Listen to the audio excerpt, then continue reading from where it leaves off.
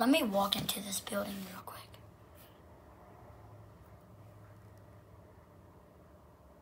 Well, I'm dead. I'm just gonna lay on the ground.